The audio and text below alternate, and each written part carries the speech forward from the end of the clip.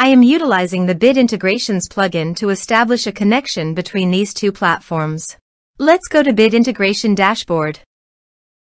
Click Create Integration. Search and select Tutor LMS for the trigger. Select a task.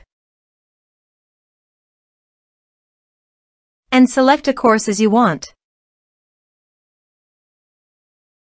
Then click Next. Search and select Affiliate. Connect with the plugin. Plugin connected successfully. Next. Choose an action.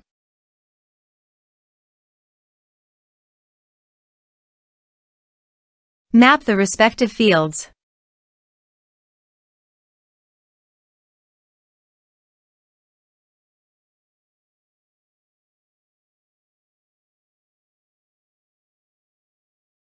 Actions and conditional logic have advanced features.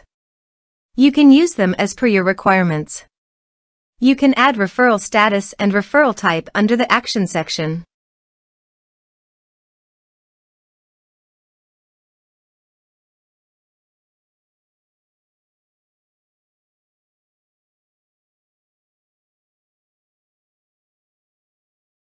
To complete this integration, you must log in to your WordPress account. Next.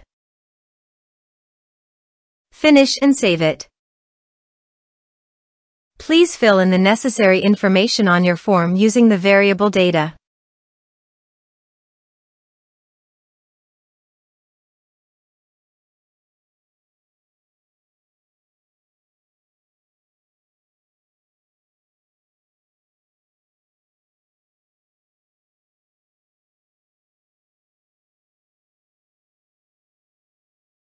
Submit it. Form submitted successfully. Go to your affiliate dashboard. Then navigate to the referrals. You can confirm that the data has been received successfully in the referrals section.